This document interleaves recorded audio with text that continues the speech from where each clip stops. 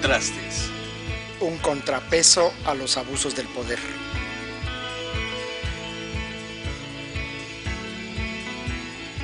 Un espacio para la participación ciudadana.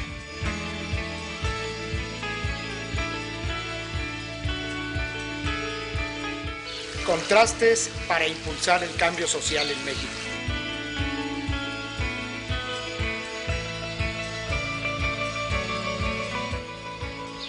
Contrastes, porque nos interesa tu opinión. Lucy Núñez, Claudio Mayer, en Contrastes.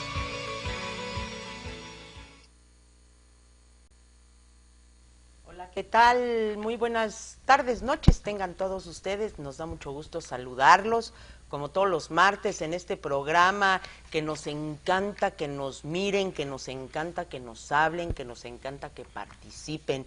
Siempre con temas muy interesantes, sobre todo con temas que es muy importante que la ciudadanía eh, conozca, que tenga la información completa de las situaciones que están pasando en San Miguel de Allende y por eso pues casi todos, durante toda la semana estamos muy pendientes de todo lo que está sucediendo en San Miguel de Allende, en el estado de Guanajuato y en nuestro país, México, para llevarle a usted lo más relevante y pues también atrevernos a hacer algunos comentarios. Le recuerdo que el programa es totalmente en vivo y que necesitamos que usted también participe para que realmente tenga mucha validez este programa. Es el 15 471 10 471 20.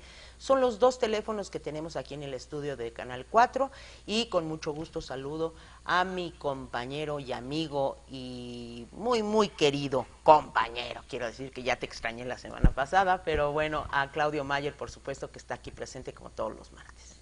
No, pues qué, qué bueno que que ya estamos juntos otra vez en esta en este espacio en donde estamos haciendo los comentarios justamente de lo que sucede en el municipio, porque la verdad es que hay pocos espacios en donde se puedan hacer estos comentarios. Claro. Y bueno, la gente tiene que saber todo, todo lo que pasa, porque también hay toda una, una política mediática de las diversas autoridades a todos los niveles para ocultar los hechos o para crear matrices de opinión.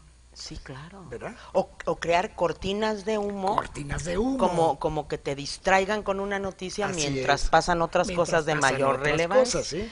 Pero bueno, aquí Como este, justamente lo que está pasando en el país. lo que está pasando en este momento, eso de la, de la fuga del Chapo, pues yo creo que más allá de una cortina de humo, es un trancazo durísimo al gobierno federal y es una vergüenza lo que está sucediendo en nuestro país, Claudio. Mira, eh, esta prisión de que está en los llanos, en los llanos de Salazar, ahí por, por Lerma, eh, es una prisión de alta seguridad, incluso certificada. Ah, claro. Certificada por, por un organismo que certifica las prisiones norteamericanas, las prisiones canadienses, etcétera. Y lo han cacareado Sí, como nada. muchísimo. ¿eh?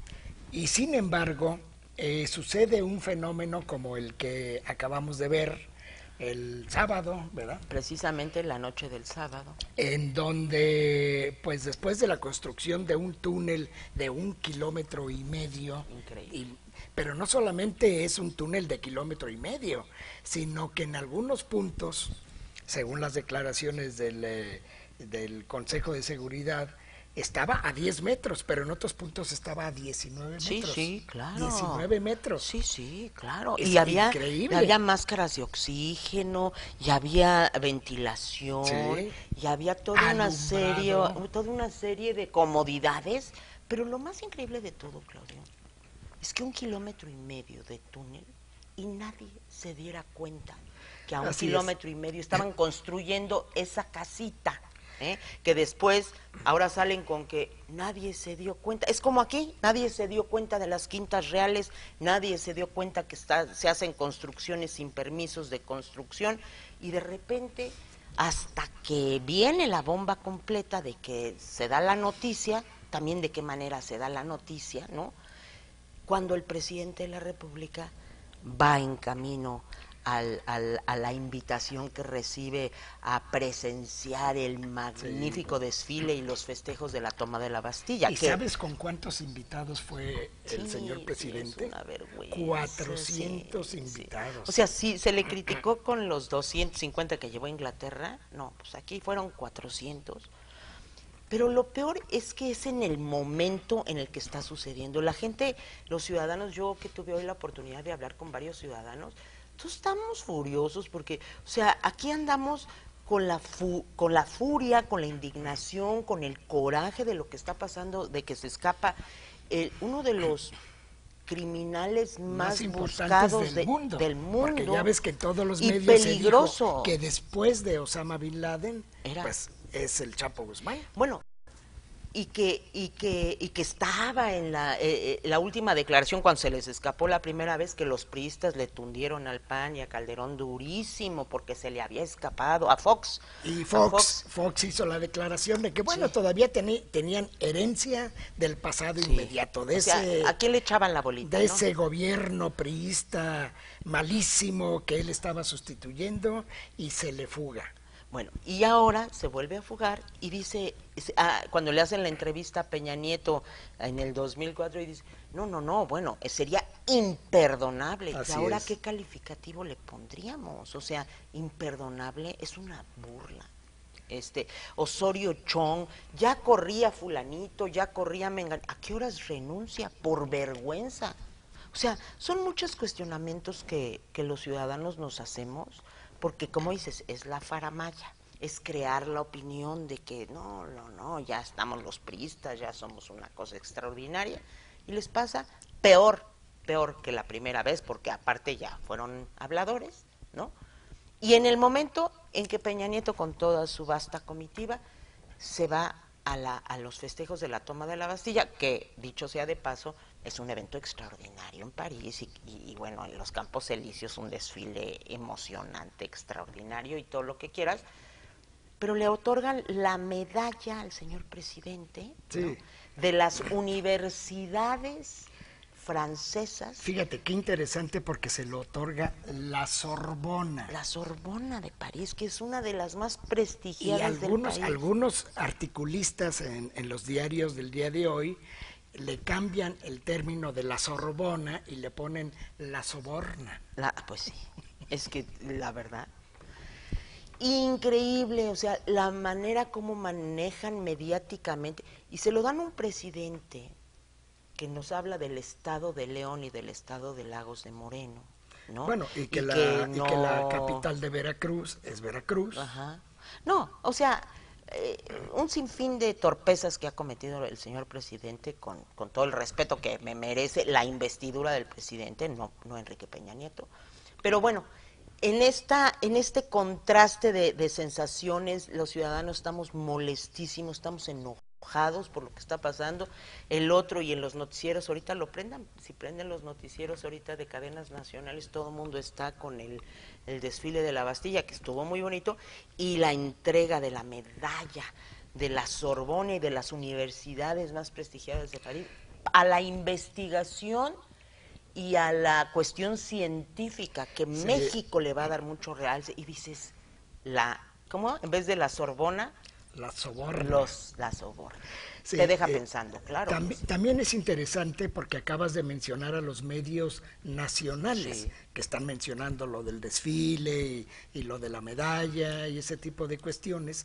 Sin embargo, la prensa internacional, para los que tienen la curiosidad de meterse al Internet y que vean el país, el mundo, el BBC, Ah, claro. el- los periódicos ¿Cuál fue la noticia? la- toda la noticia El fue el Chapo. Guzmán. Claro, claro. ¿verdad? Es y que la, ahí la es donde forma en ves que está reaccionando Peña Nieto y la y la reproducción del video donde dice que es imperdonable, que se Imperdonable. vuelva a fugar. Sí. Eso es lo que Y las enfocando. declaraciones de Osorio Chong, y las declaraciones de, de, de la De- procuradora de Ne- eh, Gómez. Gómez.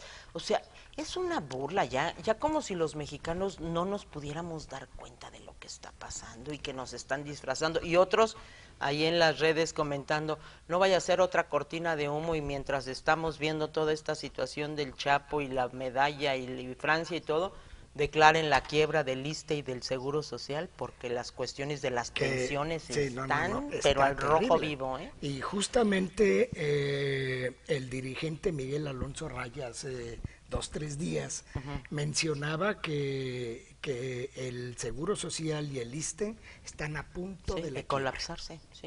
De colapsarse. Y era lo que lo, lo que muchos ciudadanos co- comentaban, nos tienen entretenidos, que tampoco creo que sea un tema que al gobierno le convenga mucho la fuga del Chapo Guzmán. Yo creo que ahí Ah, no, no, le, claro, le ataca claro, durísimo sí, la sí, sí. credibilidad, la confianza. eh, o sea, los mexicanos, ¿cómo vamos a volver a creer? Es, es la misma corrupción, ahí se vuelve a patentizar que el Chapo no se pudo desaparecer, ahí fue la corrupción entre los custodios, entre los el del penal, entre los mismos, bueno, ¿cómo organizó el Chapo su huelga de hambre ahí con casi 200 presos si supuestamente estaba en una celda y incomunicado y no veía, o sea, el cuate Bueno, lo supera y lo, Y los en, en las noticias de inteligencia, de los órganos de inteligencia que analizan el mundo criminal, etcétera, etcétera, eh, se mencionó muchísimo, bueno, se sigue mencionando, que ahí hizo un, eh, un acuerdo, vamos a llamarlo financiero, económico, eh, delincuencial, con el jefe de los Zetas, que también está ahí, pero él no salió, eh, justamente para ya trabajar en conjunto el mercado nacional, para ya no estarse peleando. peleando. En caso de ser cierto, eso es gravísimo, Gravísimo. entre otras razones porque lo, lo, lo hicieron en esa cárcel de alta seguridad. Y que por cierto el proceso en, en este número menciona que no, no salió únicamente el Chapo Guzmán, salieron varios. salieron cinco miembros de su escolta, Ajá, que son los que lo van a proteger en el, en el camino rumbo a no sabemos Ajá, dónde. No, no, es, es, es una noticia que a todos nos dejó helados. Así nos levantamos el domingo, ¿no? Que todo el Sí, mundo dijo, exacto. wow, ¿qué pasó? ¿no? Y este, y bueno, pues el lunes ahí están todos los medios nacionales, te digo, pasando los desfiles y todo muy lindo. Y Peña Nieto está de paseo, está, Está de, de paseo, paseo, sí. con todos sus amigos y reciben sus medallas y toda la situación, cuando el país se está cayendo a cachos. Eh, además de las 400 personas, él se fue con 10 miembros del gabinete Ah, claro, a Francia. 10 miembros del gabinete. Eso significa que casi todo el gabinete se fue a Francia. Claro, y sabes qué, y hoy, El que tuvo que regresar desafortunadamente para él fue Miguel Ángel Osorio Chong. bueno, es que yo no sé cómo se había ido, no se puede ir el secretario de gobernación y el presidente al mismo tiempo, eso es por ley. La pregunta es, ¿quién se hizo cargo del changarro mientras estaban todos los altos funcionarios fuera del país? Por eso, o sea, ¿con qué concha se pueden ir los dos? O sea, eso es algo que está estipulado por la ley. No pueden salir nunca juntos el secretario de gobernación, que es el brazo derecho del presidente de la República. Nunca pueden estar juntos fuera del país. Pero pues ahí pues, el Chapo los ventaneó y feo. En fin, pues vamos a seguir viendo muchos acontecimientos que van a estar sucediendo a lo largo de toda esta semana, pero sí, eh, yo no sé cómo van a volver a conquistar la confianza de los mexicanos cuando día a día con todo lo que ha venido, puros escándalos ha, sido este sexenio con, lo de eh, Ayotzinapa, con lo de Tlatlaya, con lo de la Casa Blanca, con, puro escándalo con la mujer de, Peña Nieto en el Ola, con 14 páginas la, la semana pasada, o sea, el dispendio impresionante. Bueno, la verdad es que los mexicanos nos da vergüenza. A mí, a mí sí me da vergüenza. Bueno, están disfrutando verdaderamente el poder, se ve que no tenían una, una clara convicción de qué hacer una vez que, que ganaran, están eh, viajando por todo el mundo, están gastando muchísimo dinero. Hoy iban a dar una cena a 300 invitados de lo más selecto de todas las Europas, de todos los invitados que estaban ahí en, en Francia, auspiciado por el gobierno de México. Fíjate. En fin, ahí se lo dejo de tarea. Y también hay otra situación, ahorita hablando de la vergüenza que que estamos viviendo a nivel nacional, también estamos viviendo una vergüenza a nivel municipal. Fíjate que hace prácticamente semana y media más o menos, fueron unas unos empleados de limpia, y ahorita ya estamos hablando del, del ámbito local, unos empleados de limpia fueron al radio hacer una denuncia pública de lo que les estaba aconteciendo en, la, dirección de, de servicios públicos donde está el encargado de limpia, el jefe de limpia.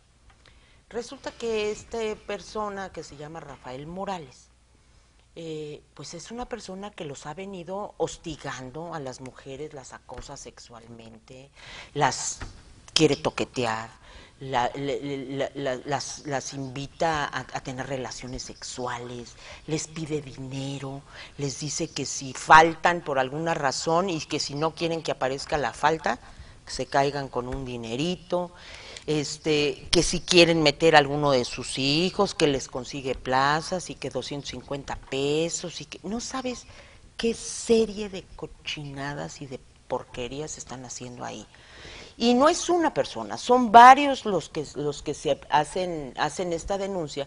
El problema es que la hacen en la Contraloría, que es donde deberían donde deben de acudir Sí, en la Contraloría Municipal. Eh, en la Contraloría Municipal, este, que es que está y que existe precisamente para defensa tanto de los ciudadanos como de los propios empleados de abusos que se den en la administración municipal. El problema es que en esta administración municipal el contralor que tenemos pues es un cero a la izquierda. Sí, hay que, hay que mencionar la situación de que el Contralor se elige sobre la base de la, del primer grupo de oposición. Se, De la eh, minoría hace- más grande. Sí, bueno, Sí. para decirlo en términos más sencillos. Ajá. Eh, se, se hace la, la propuesta y el ayuntamiento lo vota. Así se hizo y tuvimos un contralor eh, García Beltrán. que fue que fue propuesto por este grupo de primer minoría dentro del ayuntamiento. Embargo- que un licenciado embargo, responsable sí, y trabajador que les empezó a incomodar a la administración porque el trabajo del contralor precisamente es eso, es estar puntualizando, ¿sabes qué? La están regando aquí, hay que cuidar esta situación, no se puede disponer del dinero de esa manera, hay que solicitar, hay que hacer una licitación, en fin, eh, todo lo que son los procedimientos Entonces, administrativos. Lo que hizo el presidente municipal, acompañado de su grupo de, de votos cautivos, ¿verdad? votos automáticos. De sus esclavos. En el, en el ayuntamiento, fue simple y sencillamente por encima de la ley cambiar al contralor y poner a un amigo. Un amigo que había militado en el PAN, que siempre... Que no sé cómo no lo han separado del PAN, Claudio. Eh, yo tampoco lo es sé. una vergüenza también. Pero ahí. evidentemente que lo que él está haciendo, pues es defender los intereses de un grupo eh, mafioso, de un grupo amañado en la administración municipal, y él está ahí de tapadera.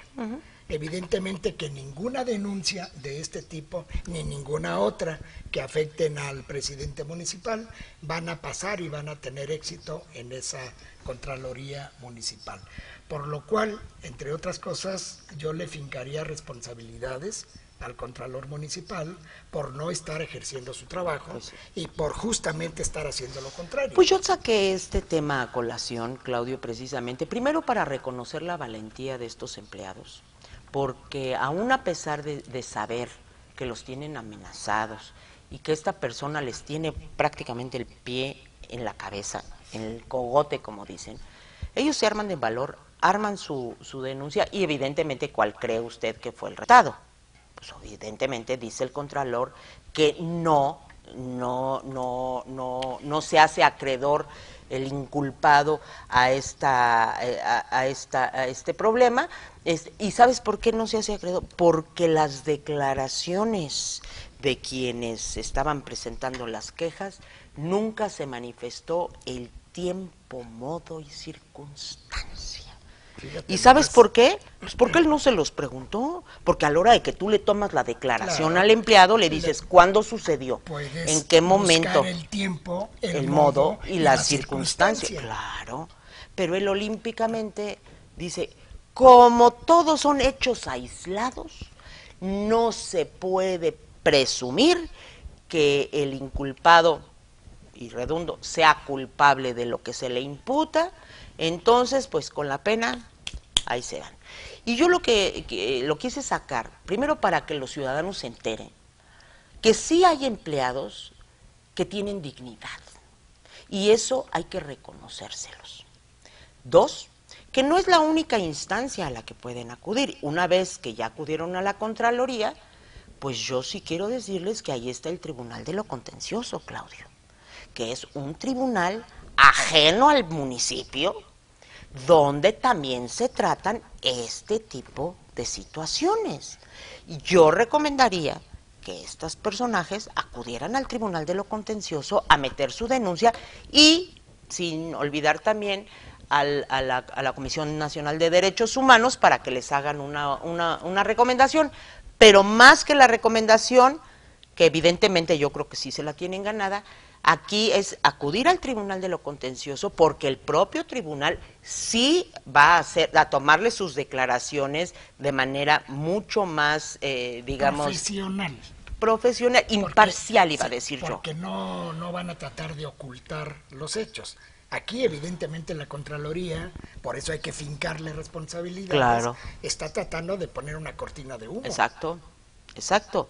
Él mismo es, los bloquea para que él, él, tenga eh, lo suficiente para decir no al lugar, ¿no? El Contralor. Pero bueno, yo lo que digo es que a estos empleados hay que... Ay, y hoy, ¿qué crees? Hoy fueron otros empleados de Limpia a decir que esto no era cierto. ¿Y qué crees que yo me enteré que la semana pasada eh, el, el presidente Trejo los invitó a desayunar a todos los de Limpia? Fíjate, no, mis amigos, vénganse a desayunar. Y seguramente ahí les digo, a ver, ¿quién va a ir a la radio a desmentir esta situación? Porque pues eso nos está quemando. Entonces yo digo, ¿cuánta dignidad tienes? Y cada quien con su conciencia.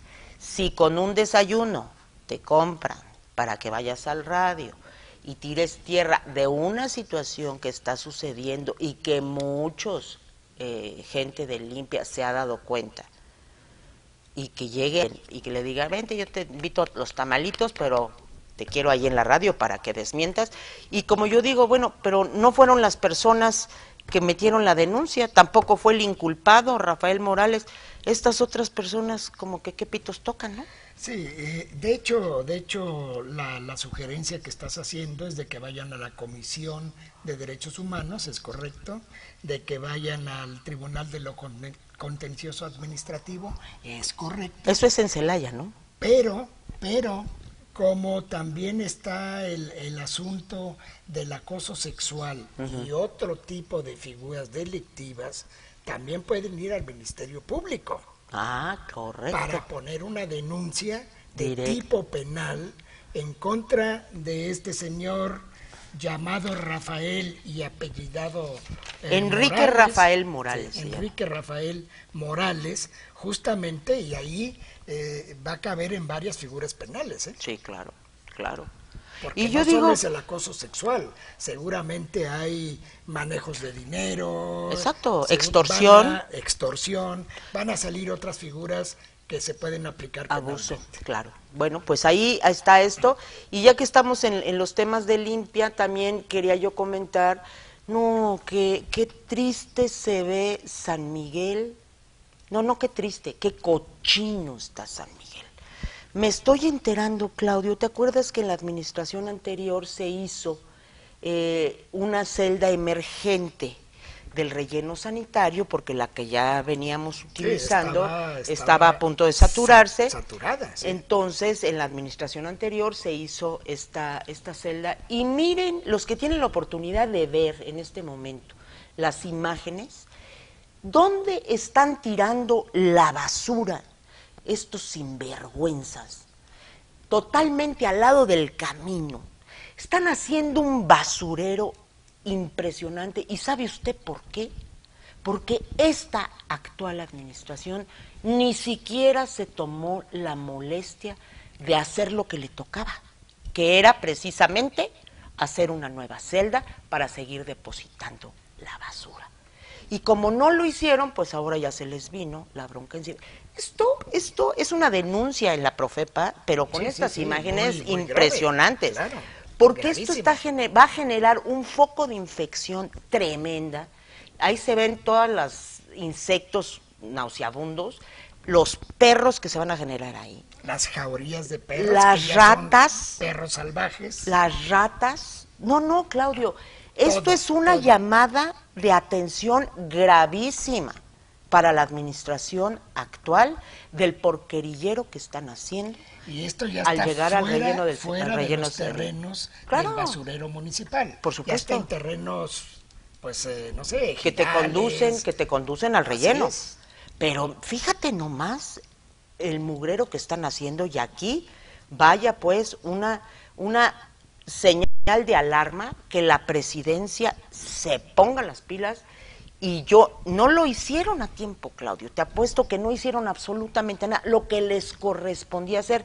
La pasada administración hizo la celda que iba a tener una vida útil de aproximadamente unos cinco años. Sí, así y es. perfectamente se hizo, apoyó el Instituto de Ecología, se hizo con recurso del Fondo Verde, el Instituto de Ecología y el gobierno municipal. Así se hizo la, la celda, pero esta administración no hizo ningún caso al respecto y hoy te estamos teniendo un problema grave y cállate, que faltan ochenta y tantos días para que se vayan, ¿te imaginas ochenta y tantos días más con ese tiradero de basura? Son Vamos a tener meses. un problema gigantesco, gigantesco y sobre todo de infecciones y de problemas de, de, de- Y de- aquí volvemos al mismo tema. Yo pienso, yo pienso que hay que fincar responsabilidades eh, justamente en contra de estos funcionarios que hicieron caso omiso de la problemática y ahora el municipio ya está inmerso En un una situación terrible que le va a costar mucho trabajo a la próxima administración enfrentarla. Semejante bronca que le dejan a la próxima. En fin, son prácticamente un poquito pasadita de las ocho y media. Nos vamos a un corte de estación y regresamos, híjole, con unos temas bien candentes todavía que tenemos en este programa. No se despegue, estamos en esta frecuencia y sobre todo llámenos 15 471 10, 15 471 20. Regresamos en un momentito. Contrastes.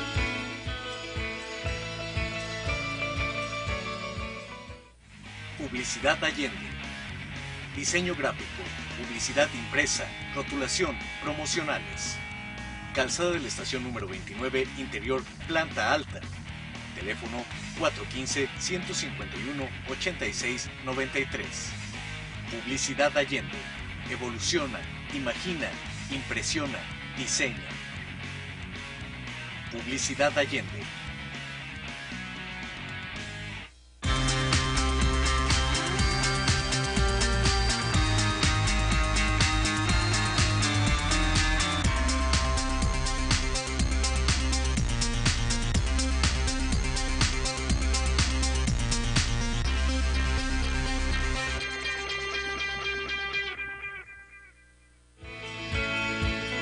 Contrastes.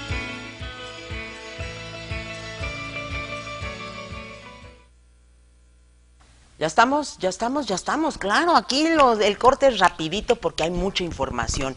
Y bueno, pues para entrar ya rápidamente en materia, déjeme decirle que la semana pasada, ¿qué cree? Que hubo sesión de ayuntamiento, con un solo punto, la sesión de ayuntamiento. Y ahora sí acudió el presidente municipal, porque ya viste que el anterior, Es que ya no- estamos, no ya estamos en el mes de julio. Sí. Tiene que tener dos, dos sesiones. Bueno, pero en junio nomás tuvo una. Sí, nomás tuvo una. Ahora en julio ya, ya asistió Así a una. es. Bueno, solamente había un solo punto y era la modificación al presupuesto 2015. Bueno, qué vergüenza. Y hoy creo que la palabra ha sido la vergüenza y la desfachatez.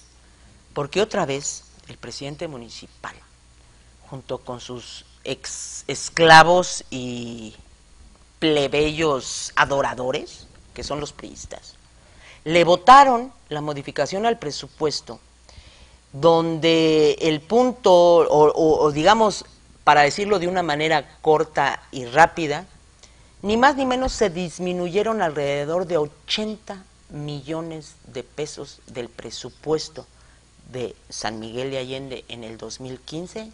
¿Y sabes por qué? Por falta de gestión de proyectos. Es increíble que se estaba hablando de un presupuesto histórico que había bajado para el municipio y quién sabe. Una cosa es que te lo etiqueten y otra cosa es que lo puedas bajar. Justamente el presupuesto era de 800 millones Ajá. de pesos. Bueno, pues Que si le quitamos 80 millones de pesos en cifras redondas, le estamos quitando el 10% al presupuesto municipal. Sí. Pero si sabemos cuál es la razón, pues eh, eso sí, Mira.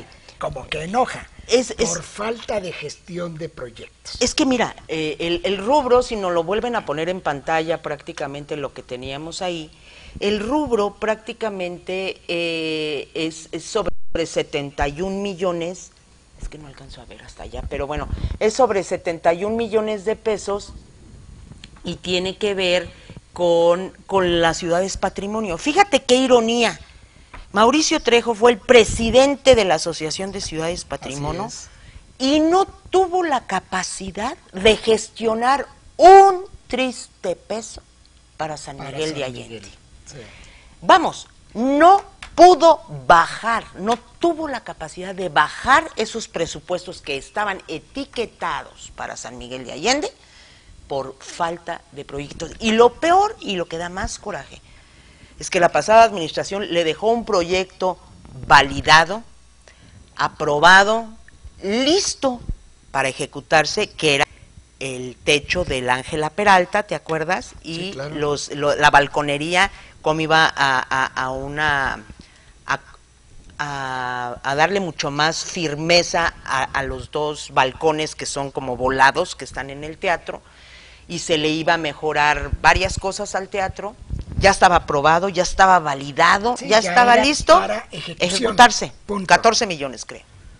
Vamos, él dijo, no, no, no, no, esos Sí, proyectos. no, yo, voy- yo voy a pres- presentar algo mejor, Sí. dijo él. Voy a presentar otro proyecto. Bueno, pues se la pasó fanfarroneando y no presentó ninguno. Y entonces ahora, le, si me ponen la primera hoja otra vez, nos vamos a prácticamente 70, mi- 71 millones de pesos que eh, tenía que ver aportaciones y participaciones. Tengo entendido que eran como 68 millones de ciudades patrimonio y algunas otras donde tampoco dio su aportación y entonces le quitaron los recursos. Es una vergüenza y más vergüenza que no hayan eh, argumentado los regidores ningún, nin- nada, no dijeron nada cuando se atrevieron a aprobar esta modificación. Y precisamente me están informando, ya tenemos en la línea al regidor eh, José Luis Zavala Rosiles, que, que... ¿Estás ahí, José Luis? A ver, tenemos a, a José Luis Zavala Rosiles en la línea, que precisamente eh, es- estamos aquí hablando con él porque, bueno, pues él estaba presente en esa, en esa sesión de ayuntamiento y, y yo le pregunté lo mismo que él preguntó en la sesión. Este, le dije, ¿y qué argumentos dieron para aprobar esta modificación? Ninguno. Ninguno. Ningún argumento. Y precisamente yo, dice José Luis, yo en la sesión, yo les dije, este, ¿cómo es posible, no? Pero ya lo tenemos en la línea. José Luis, buenas noches. Bueno. Bueno, bueno. A ver, Josué. Le llamo por este teléfono, ¿sí? Si quieres. Ahorita lo, lo, lo comunicamos a través de este teléfono porque aquí le damos el, el- el- el audífono y todo. Bueno, eh, en esta cuestión de la sesión de ayuntamiento este, es importante mencionarlo porque, porque prácticamente nadie dijo nada, todo el mundo levantó su manita y nada más creo que había tres regidores de oposición, estaban los dos del PRI, los dos del PAN que diga, estaba Gaby y Osvaldo y estaba José Luis, porque los otros dos, pues ya sabes que, oye, pero no pueden faltar más de tres veces seguidas los regidores a las sesiones, ¿o Bueno, sí? no pueden, pero ya ves que ellos ponen como falta justificada y el ayuntamiento se los justifica. Ajá. Por ejemplo, uno de los regidores se fue a una boda. Ajá. ¿Esa es falta justificada? Eso es falta justificada porque habla con sus amigos en el, en el ayuntamiento y dice, no, voy a tener que ir a tal lugar y ustedes pues avalen esa situación. ¿Cómo crees? Y en este ayuntamiento pues solamente levantan el dedo y dice, sí, no hay ningún problema. Adelante. ¿Cómo crees? Qué bárbaro. Y bueno, Bueno, este, el caso es que, este, ahora sí ya tenemos aquí en la línea al, al regidor Zavala Rosiles. Regidor, buenas noches. Hola, ¿cómo está? Buenas noches. Gusto Ah. saludarla. Eh, al licenciado Claudio, por supuesto, y a la gente que amablemente nos escucha. Ay, nos escucha y nos ve. A usted no lo pueden ver, lástima, Margarito, pero bueno, la próxima lo invitamos aquí en vivo y a todo color, re- regidor. Oiga, regidor, estábamos ahorita comentando sobre, sobre la pasada sesión de ayuntamiento en donde se dio la primera modificación a- al presupuesto 2015, donde solamente hubo un punto y que efectivamente lo votaron los, los cinco priistas, el presidente y el síndico, y, y sin ninguna argumentación prácticamente le quitaron 80 millones de pesos al presupuesto de San Miguel, eh, regidor. Así es, hay que recordar que eh, el presupuesto de egresos para este ejercicio 2015, que fue aprobado en diciembre pasado, ascendía a un poco más de 790 millones de pesos. Eh, derivado de, de esta modificación presupuestal que se llevó a cabo la semana pasada, se redujo considerablemente eh, pues eh, las partidas correspondientes a participaciones, sobre todo federales. Eh, eso no asoma a otra cosa desde mi punto de vista, pues una, no digo una falta de gestión, sino una nula gestión frente a las diversas autoridades a efecto de bajar recursos que se destinen justamente a eh, infraestructura para la cual justamente están etiquetados. Eh, como bien lo comentó licenciada hace algunos momentos, el- en el momento de la sesión eh, yo hice uso de la voz solicitando que de manera expresa el presidente de la Comisión de Hacienda, es decir, el licenciado Chagoyán, o cualquier otro miembro de la comisión, o incluso el tesorero municipal, pudiese dar una explicación razonada, fundada y motivada, como debe de ser, del por qué se lleva a cabo esta, esta modificación. Y simplemente, pues, eh, como ha sido de manera sistemática a lo largo de estos ya casi tres años, pues simplemente hubo un silencio absoluto y se votó a favor esta modificación. Entonces, pues bueno, eh, eh, una, una muestra clara más de que pues el, el, el debate que debería de, de- de haber en el ayuntamiento pues prácticamente es nulo.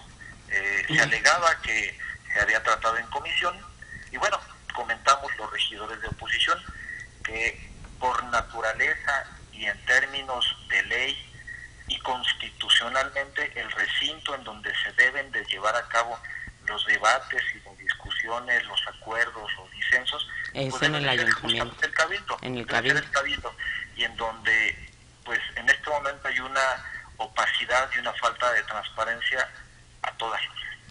Ay, regidor, la verdad es que qué pena y qué coraje da. Lo único bueno es que ya sabemos que ya falta menos para que se vaya esta administración y pues también lo siento por usted porque también pues ya le queda también pocos pocos días de estar aquí, pero lo importante es que habla y que levanta la voz y que dice eh, lo que su conciencia le, le- le dicta. Otra pregunta que, que ahorita también quiero comentar con el licenciado Claudio y con los televidentes y los radioescuchas es sobre lo que se estaba comentando el día de hoy de que Mauricio Trejo se fue a Vail, Colorado, a firmar un hermanamiento con esa ciudad en los Estados Unidos. Y yo lo que le quería preguntar a usted, regidor, es cuándo se subió a ayuntamiento esa propuesta de que San Miguel se hermanara con la ciudad de Vail, Colorado. Pues justamente igual que usted y seguramente muchas personas, yo también me vi sorprendido el día que hoy a través de dos medios de comunicación local. Me, enteré de que el presidente justamente el día de hoy comenzaba una, una visita a Estados Unidos, a la ciudad de Vail, Colorado, a efecto de eh, suscribir un, acuerdo de hermanamiento. Eh, vale la pena comentar que desde el pasado 5 de abril del 2005, en el periódico oficial del gobierno del Estado, se publicó un que se denomina Reglamento para el establecimiento de las relaciones de hermandad entre el municipio de San Miguel de Allende, Guanajuato, y otras ciudades del mundo. Eh, este, este reglamento, si bien es cierto, establece que las relaciones de hermandad pues tienen como propósito pues un intercambio y asistencia mutua en actividades de índole cultural, educativa, turística, de desarrollo económico, social, deportiva, en fin, eh, y, que sin duda pues eso es de mucha valía y de mucha importancia y de mucho beneficio para nuestro municipio, pero no menos cierto es que este reglamento establece una serie de pasos que se deben de cumplir y que sin ese procedimiento, francamente, cualquier suscripción de, de hermandad, pues es nulo de pleno derecho. En este caso, este mismo reglamento establece la existencia de una comisión de ciudades hermanas que previo a que se suscriba este convenio de hermanamiento, pues tiene que ser primero analizado desde el punto de vista técnico de parte de esta comisión, y una vez que esta comisión ya lo ha validado, el presidente municipal tiene la obligación de someter a consideración del ayuntamiento su aprobación o desaprobación. En caso de ser aprobado, se tiene que realizar en una sesión solemne, es un acto protocolario en donde dos ciudades del mundo como San Miguel y cualquier otra se hermanan y, establecen estos, lazos de, de, amistad y de hermandad, no es cualquier cosa. Y justamente esa solemnidad la da este reglamento. Lamentablemente, eh, el perdón, lamentablemente el municipal a lo largo de su terreno ha suscrito él, yo, yo creo a título personal, pues, diversos hermanamientos que francamente desde mi punto de vista como abogado, ya no incluso ni como miembro del ayuntamiento, como abogado, pues creo que son francamente nulos. Pues mire, le agradezco muchísimo la información que nos da regidor.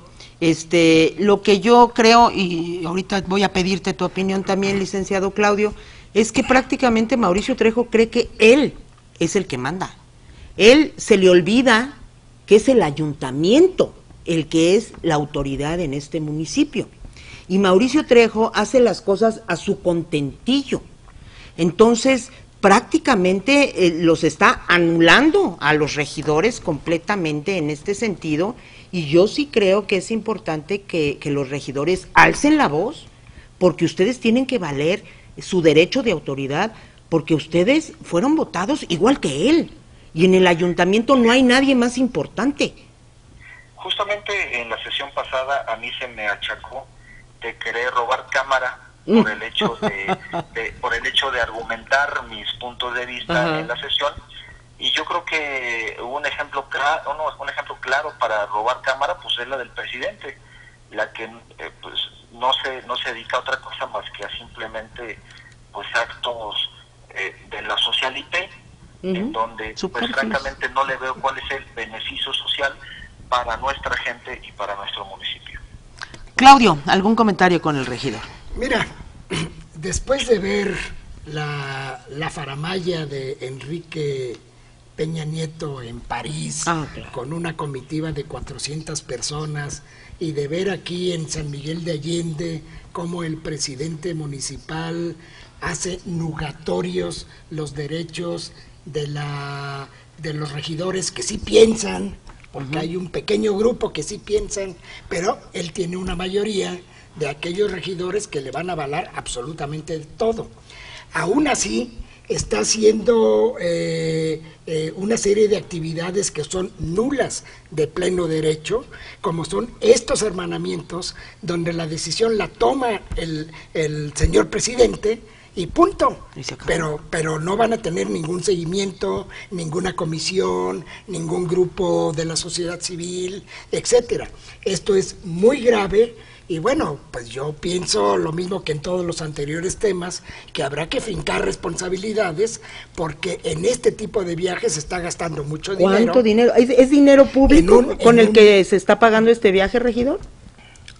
Pues yo supondría que sí ya que lo hace en su calidad de Claro, presidente por supuesto, por Si lo supuesto. a título personal, pues yo supondría que no. Francamente desconozco eh, eh, cuál es la, eh, la forma en la cual se está financiando este, este, este viaje y todas las demás actividades, porque incluso se hace referencia a que el presidente del, eh, del Consejo Turístico, eh, Garrido, pues también andaba por allá en aquellas actividades y yo supondría entonces que se trata pues de, de un viaje sufragado con recurso público municipal. Ay, no, no, no, yo Así ya. es. Primero, primero nos dan la noticia de que hacen un recorte al presupuesto de 80 millones de pesos Ajá. e inmediatamente después Se nos, vamos, nos de viaje. vamos a Bale, ¿A qué regresó? ¿verdad?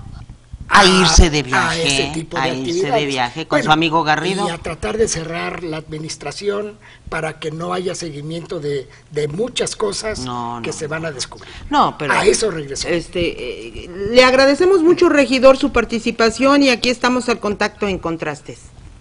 Muchas gracias, buenas noches y saludos a toda la, la gente que amablemente nos ve y nos escucha. Muchas gracias, regidor. Hasta luego. Hasta luego. Eh, ¿Sabes qué, Claudio? Verdaderamente insulta, insulta todo lo que está pasando, cómo se fue, cómo regresó, ahora se vuelve a ir de vacaciones, hace sus viajecitos y el señor se cree, pues se cree que está parado en, en la cima del mundo, yo no sé. Bueno, te quedan 87 días, amigo, y vas a volver a ser un simple y llano ciudadano que yo creo que vas a tener mucho que responderle a los ciudadanos porque el día que tomaste protesta dijiste que ibas a hacer respetar las leyes, la constitución política y la del Estado y las, la- los reglamentos y las leyes de este municipio, cosa que no estás haciendo. Entonces, bueno, pues disfrútate tu viajecito porque ya tendrás mucho que poner en la mesa cuando, cuando se hagan todos esos cuestionamientos y que sean los órganos institucionales quienes se encarguen de esa situación, Claudio, pero vale la pena evidenciarlo y que la gente y que los ciudadanos sepan porque es una verdadera vergüenza y hoy la palabra ha sido vergüenza todo el, todo el es.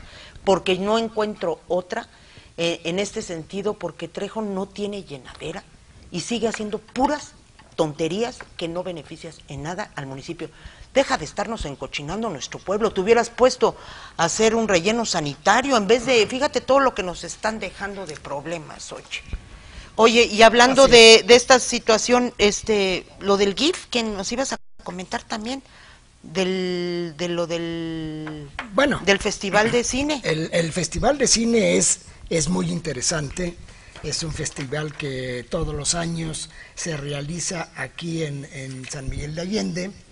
Eh, es un festival internacional de cine y los promotores del mismo han tratado de, con cierta mercadotecnia, de ubicarlo como uno de los principales festivales de cine de América Latina, de América Latina, que evidentemente si lo comparamos con los festivales de Buenos Aires, de La Habana, de bueno, tan, aquí mismo en México el, El de festival Morelia. de, el festival de Morea, De Guadalajara. eh, y otros tantos para no seguir mencionando porque hay muchos festivales que son competitivos con este. El gobernador mencionó algo muy importante, porque ya se estaban gastando 13 millones de pesos públicos del erario, pero en esta ocasión pidieron 25 millones Sí, de ¿cómo pesos para la realización del festival, considerando que el festival atrae muchísima gente, que los hoteles se llenan por completo, que hay una enorme derrama económica en los restaurantes, en materia turística y bueno, en fin, muchas cuestiones que económicamente favorecen al municipio. Sí, Y el, pero el yo gobernador les dijo, bueno, que el festival se siga haciendo, pero que sea autosustentable. Es decir, que genere ingresos para que se le para que pueda seguir desarrollándose y a lo mejor las instituciones públicas lo pueden apoyar, pero no absorber no- todo, no el costo. absorber todo el costo. No, yo, yo, yo sí quisiera comentar que esta situación del GIF ya se viene dando desde hace varios años. ¿Te acuerdas que en la pasada administración tuvimos ahí un, una discusión fuerte al respecto, porque lo que nosotros pensábamos era, nadie discute que el Festival de Cine es un buen festival. Lo que siempre discutimos es la temporada en la que lo hacen, porque la hacen en la segunda quincena de julio. Esa quincena de julio siempre hay turismo en San Miguel, con festival, sin festival. Y yo recuerdo que en el 2010, precisamente que la administración municipal no tenía prácticamente presupuesto, de aquellos 5 millones que se le daban en aquel tiempo, creo que la administración le daba como 2 o 3 millones, eh, en ese momento mm, pues, había solamente como 250 mil pesos, que aparte le hizo puchero. Yo dije, bueno, pues si le haces puchero, pues ni eso te damos, mijita, ¿no? Porque no había dinero, se molestó muchísimo y ya voy a llevar el festival a Guanajuato. Y dije, ah, pues órale, llévatelo a Guanajuato. No hubo festival en San Miguel y ¿qué creen? Hubo más gente en San Miguel en el 2010 y en el 2011 sin festival del GIF que con festival en el 2012. Y de esa manera nosotros demostramos que no es que no nos guste el festival, el festival a mí me parece que es un festival extraordinario y me encanta que sea así tan, tan experimental y que sea de mucha participación y que se presente cine en varias plazas y en varios lugares en San Miguel. A mí lo que me molesta es que utilicen las fechas donde ya de por sí la gente está en San Miguel. ¿Por qué no lo hacen en mayo, por ejemplo? Que ese festival igualitito lo hicieran en mayo o es lo mismo que pasa con el Festival Cubano, Claudio. Lo hacen en el puente del 21 de marzo y luego se jactan y dicen, hubo una derrama de quién sabe cuántos millones de pesos gracias, por el festival. Gracias al festival hubo una derrama económica y la verdad es que no es de millones de pesos y vinieron miles de, gentes. La pregunta es, ¿vinieron al festival? ¿Al festival? ¿O vinieron a San Miguel? ¿O vinieron a San Miguel? La mejor prueba, la, mejor forma de demostrarlo fue en esos años donde no se hizo el festival en San Miguel y San Miguel estaba lleno, de cualquier manera. Hoy, a mí, la verdad, yo sí celebro los comentarios del gobernador porque finalmente ya les cayó el 20 porque saben que va a haber un recorte también el año que entra y hay que buscar los dineros para que pues el dinero que caiga al Estado pues se aplique lo mejor posible. Y yo lo que pienso es que el gobierno, Claudio, no tiene la obligación de mantener a los festivales. Yo creo que puede impulsar a los festivales, a lo mejor los primeros años, pero que sí los festivales se hagan autosustentables, que se paguen por sí mismos. Y sí, evidentemente, en un principio a lo mejor pues sí puedes eh, ocupar algún recurso municipal, algún recurso estatal para lanzarte a tu festival los dos primeros años, pero ya después, aquí lo chistoso es que cada año pedían más y más y más. Imagínate, 25 millones de pesos. Hay un ejemplo que yo quería poner al respecto de, cómo se puede hacer una organización que a lo mejor en un inicio, en la administración anterior se creó el TOSMA, el, el, Tianguis Orgánico de San Miguel de Allende. Y sí fue una iniciativa que nació del municipio, la creamos en el municipio pero se puso en manos de los ciudadanos. Después hicimos una alianza estratégica con el Hotel Rosewood para utilizar sus, sus jardines, que en ese momento pues, él no estaba utilizando y que hoy sigue sin utilizarlos. Y hoy vaya usted al Tosma cualquier sábado. Es un éxito rotundo se genera trabajo, se genera economía, se generan actividades, se produce, bueno, se dan a conocer los productores de orgánicos, se vende miel, se vende vino, todos los productos orgánicos, productos de las comunidades. Ha sido un éxito rotundo y ¿sabes qué? Ese se le apoyó el primer año y a partir de ahí creció como la espuma y hoy por hoy genera hasta turismo el TOSMA en San Miguel de Allende. Esa es la manera como la que los, los ciudadanos que quieren hacer cosas pueden apoyarse, yo no digo que no. O sea, el gobierno está obligado a apoyar las tradiciones. Eso qué, qué, en mi forma de ver. O no sé tú qué opinas. Las tradiciones son otra cosa. Pero los festivales, los festivales a lo mejor en el empuje, pero ya después. Sí, bueno, eh, también se ha generado nuestro sistema político es muy interesante porque hay mucha gente que da, que rodea a las autoridades municipales, estatales, federales, y son eh, organizadores, son como empresarios, pero en lugar de de tratar de que sus festivales sean sustentables, es decir, que se saque dinero de la propia gente que participe. Aquí se trata de sacarle dinero al erario público y se crea toda una toda una serie de grupos que hacen todo tipo de, de situaciones, porque acabas de mencionar dos, pero bueno, hay otros. Este, Claro. Hay, por ejemplo, había este encuentro, la fraternidad universal Ah, y todo eso, sí. que también iban Sí, y pedían, y pedían, dinero. sí, como si fuera obligación del municipio. sí, y se ofendían si, si la no. autoridad municipal le decía, bueno, es que tenemos que pensar en otras inversiones, por ejemplo, el basurero municipal. ¿verdad? En lugar de estar haciendo festivales. Eso no quiere decir que estemos en contra de los festivales, hay que apoyar los festivales, pero sí hay que tratar de hacerlos sustentables. Eh, yo es estoy completamente de acuerdo también que hay que tratar Y de sí sería bueno, sí sería bueno, eh, como actualmente están de moda estos observatorios ciudadanos y que la gente participe y monitoree eh, lo que hacen las autoridades de todo, de todo nivel, pues también que se monitoree, por ejemplo, el gasto público municipal, a ver si ese gasto es correcto o no. Ahí me gustaría una discusión, por ejemplo, con medios de comunicación, con ciudadanos, con gente enterada, por ejemplo, del viaje a Vail, ¿verdad? A Vail, Colorado, en donde pasándose por encima la ley y los reglamentos y los consensos con las los autoridades, protocolos. los protocolos, simplemente va el presidente municipal Con su amigo Garrido. con su amigo Garrido y van a hacer un hermanamiento. ¿Qué destino va a tener ese hermanamiento? ¿Qué fin? ¿Qué programa tiene? Eh, ¿De qué- ¿Cuál va a ser el beneficio? Exacto, ¿cuál va a ser el beneficio? Porque mencionarlo en términos abstractos, con que los alumnos, los estudiantes de San Miguel podrán ir a estudiar a Vail, bueno, pues también pueden ir a Dallas y pueden ir a Houston y pueden ir a Nueva York. Claro. ¿Nos vamos a hermanar con todos? Evidentemente no. Tiene que haber una, una Afinidad, ¿no? Claro, Una afinidad, para eso son los hermanamientos. así es. En fin, ya estamos llegando al final del programa. Siempre se nos hace bien chiquito este programa, Chihuahua. El señor Fernando Rodríguez dice, hay muchos niños en el relleno que están recolectando la basura. Esto es muy peligroso porque además hay muchos perros. La verdad tiene usted toda la razón y olvídese del relleno, ya en el camino al relleno ya está todo el tiradero de las imágenes que vimos hace rato, que la verdad sí son alarmantes, señor Fernando. Gracias por participar.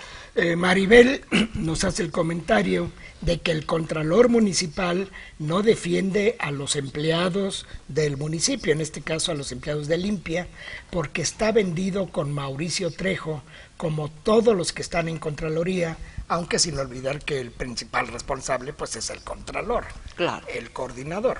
Claro. Bueno, pues ya sabemos cómo llegó ahí. Exacto. Ya lo comentaste hace rato. Dice, debe de checar el área de catastro porque hay un relajo y el jefe de catastro hace lo que quiere.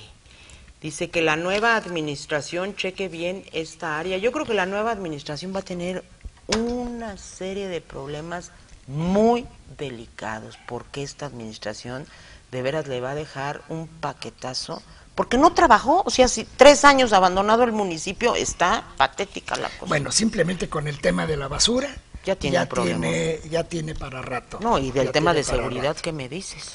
y esperemos que no se vuelva a nombrar a los mismos funcionarios Esperemos. que son también parte del problema y no de la solución. María Teresa Rivas dice, la responsabilidad del presidente es estar al pendiente de estas situaciones del relleno sanitario. Es una vergüenza, otra vez Otra el término vergüenza, que ande de paseo en Estados Unidos. Estamos completamente de acuerdo. Se acabó este programa, señoras y señores. Nos encanta que participen y pues hay que hacer changuitos para que ya pronto sea el próximo martes y podernos encontrar en este programa. Claudio, muchas gracias.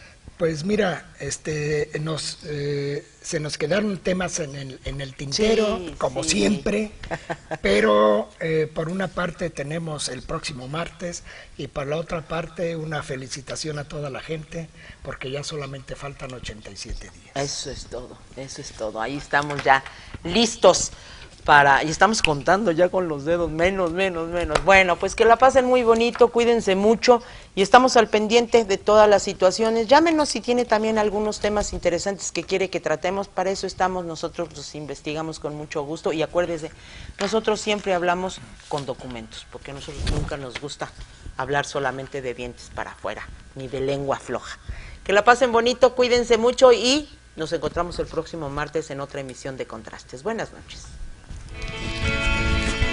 Contrastes. Un contrapeso a los abusos del poder. Contrastes, porque nos interesa tu.